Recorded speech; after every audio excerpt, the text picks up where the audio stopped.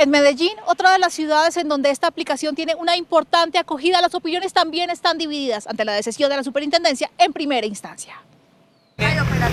Don Raúl Londoño es taxista desde hace 10 años en Medellín. En este tiempo dice que ha venido pagando impuestos como el cupo del vehículo, la tarjeta de operación y los seguros para los usuarios.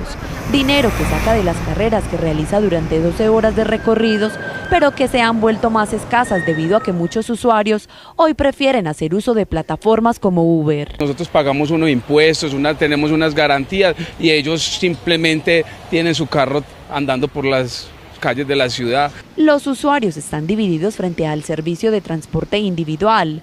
Unos defienden las aplicaciones y otros a los taxistas. Como usuaria pienso que son increíbles. Uno en cualquier momento puede simplemente coger el celular, llamar y llegan donde uno esté. Además que sale mucho más barato que un taxi. Yo creo que los taxistas están en desventaja frente a Uber, al ellos tener que pagar pues el impuesto y los, la otra posición no.